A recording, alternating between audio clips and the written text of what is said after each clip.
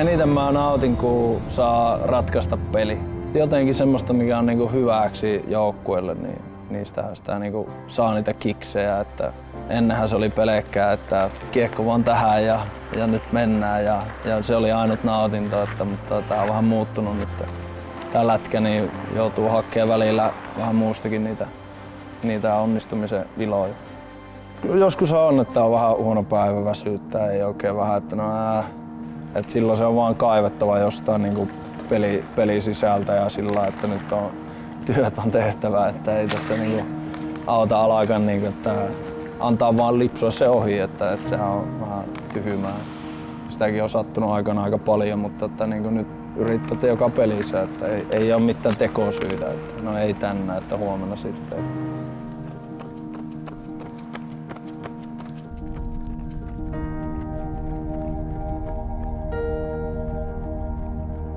Vaikeimmat hetket mulla oli Ruotsissa molempina vuosina, kun ei saanutkaan enää vastuuta ja kyllä siinä niinku joutui niinku omaa luonteen kanssa paljon painiin, että, että kumminkin joukkuepeli, että sä et voi alkaa siellä hirveästi mitään primadonnaileen kumminkaan, että, että et sä myrkytä sitä koko touhua, että piti yrittää pysyä positiivisena ja, ja, ja sillä että ei voi varastaa sitä showta siellä. Että vaikea se oli, mutta katteli Frendejä ja, ja tuota Modern Familya, että sai niinku tuota, semmoista rentoa elokuvaa, sarjaa, että, että sai nauraa ja sitten vähän niinku rentoutui siinä. Että, että olihan se sillä kova pettymys. Se myös vähän opetti ja kasvatti ja mä veikkaan, että nyt se on ollut ihan hyvä juttu. Että, että jos menee asiat näin, niin miten kannattaa toimia.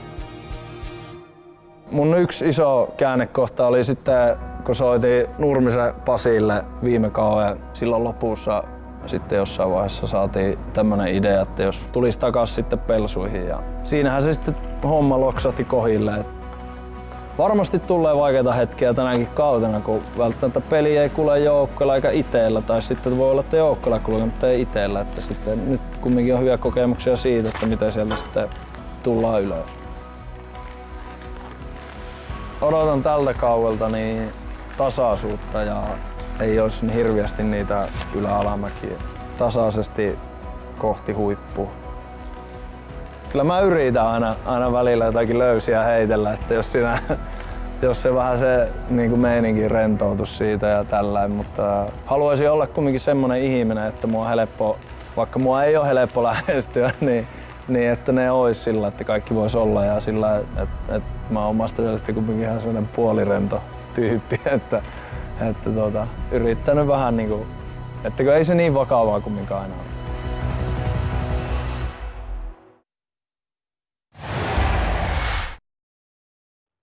On se koko rento tyyppi kumminkin tuo Juhis, mutta miten tuommoinen kaveri, jonka tiedetään Juhis, että, että tota, pelaa oikeasti vahvuudet on pelkästään kiekollisessa pelissä. Jos et sä pelissä saa kiekkoa, mitä tuommoisella kaverilla tekee se pelissä?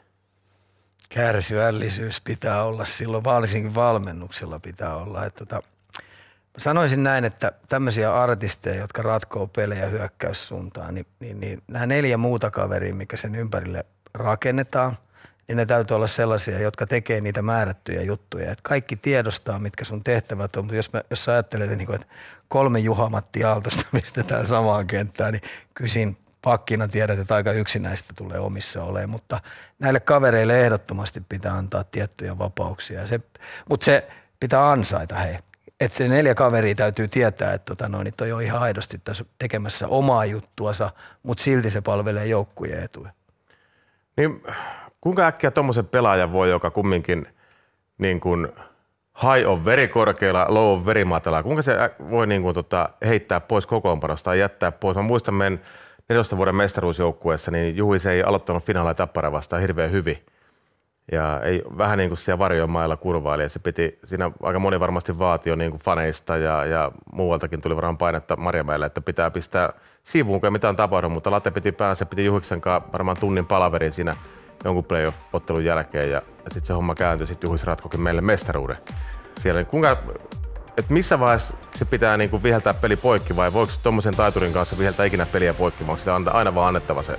Siis totta kai voi viheltää poikki. Et jos, jos et sä tee niitä määrättyjä asioita, että se ei palvele sitä joukkuetta, että et, tota no, niin mä sanoisin näin, että, että ympärillä olevat pelaajat, tämä kopin sisäinen tämmöinen yhtenäisyys, jos se on todella itsekäs kaveri, se ei ajattele kuin minä, minä, minä, eli oma massu, oma massu, silloinhan se on pakko viheltää poikki. Mutta jos tämä muu ympäristö tietää, että toi oikeasti yrittää kaikkensa omalla tavallaan löytää ne artistimaiset reitit, niin ennemmin tai myöhemmin se löytää, koska tämmöiset poikkeukselliset yksilöt, niin jostain ne löytää sieltä aina aukkoja. Sä tiedät ottelusarjoja, kun oot paljon pelannut, niin se tulee se ratkaisu jostain muusta kuin jostain pelitavallisista jutuista. Että tämmöiset lahjakkaat kärkiartistit, niin, niin, niin jos ne on aidosti siinä mukana, niitä on ihan mun mielestä turha pistää sivuun. Mutta jos se rikkoo sitä muuta joukkoa, että ne on patalaiskoja, velttoja ja vielä myrkyttää vähän sitä ilmapiiriä siellä, niin silloinhan siinä ei ole muuta vaihtoehtoa kuin pistää sivuun.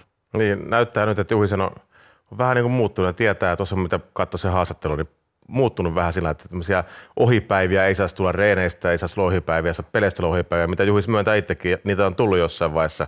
Mutta mä muistan joskus, saiko Juhis silloin kärpis 400 peliä vai 300 peliä tuli täyteen ja se meni hakemaan pok- se pokaalia sieltä, niin joku huusi sieltä, kun ihan, ihan tyhjä halli ja Juhis kuului, että 300 peliä Juha-Matti Aaltonen, joku se katsomassa, että 5, 150 tosissaan.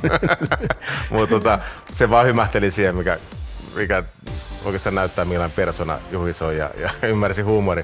Mutta kuinka, kuinka mukava tuommoinen niin valmentajalle joukkueessa, että tuommoisia kavereita on, joiden oikeasti saa painaa niin joka päivä hommia, kun tietää, että se, se kumminkin upside siellä on erittäin sitten kova, vaikka se sitä joutuu vähän kaitsemaan ja katsoa ja antaa vähän löysiä välillä enemmän kuin muille. Ensinnäkin tuo insertti oli tosi hyvä, että se kannattaa moneen kertaan jonkun katto ja poimia sieltä todella hyviä juttuja. Siellä on tipsejä kenelle tahansa.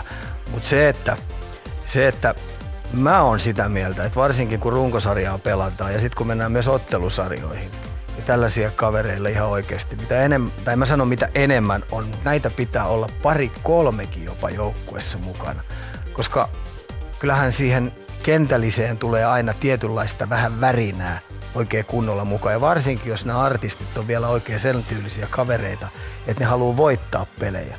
Niin mun mielestä se on huomattavasti kivempaa mennä niin sanotusti toimistoon, kun se joudut oikeasti vähän jätkien kanssa käymään. Kyllä mulla on ollut paljon sellaisia pelaajia, jotka, joiden kanssa on päivittäinkin joutunut puhua tietynlaista joukkuekemiasta ja työmoraalista ja muuta, mutta sitten kun kiekko putoo keskelle, niin yleensä ne on nämä jätkät, jotka ratkoo sitten pelit. Niin, hmm. mutta aina, aina puhutaan sen puolustuksen merkityksestä kumminkin tuohon joukkueen pelaamiseen ja niin kuinka paljon tämmöiselle uskaltaa antaa niin kuin löysiä, löysiä, että ei, ei välttämättä tarvi osallistua siihen puolustuspeliin samalla kuin muut, vaan voi kyllä antaa, mutta kyllä Jotkut valmentajat antaa löysiä selvästi tämmöisille no, pa- siis, no kyllä semmoinen, joka nuuhkii koko aika hyökkäyssuuntaan. No osahan, osahan ei nuuhki ikinä puolustussuuntaan, mutta aina silloin tällöin edes palaa puolustukseen, niin silloin me puhutaan niistä muusta neljästä kaverista. Et, et jonkunhan täytyy tehdä ne niin sanotut paskahommat. Jonkun täytyy väleihin mennä, jonkun täytyy takapaineet vetää, jonkun täytyy maali edessä tehdä maskit.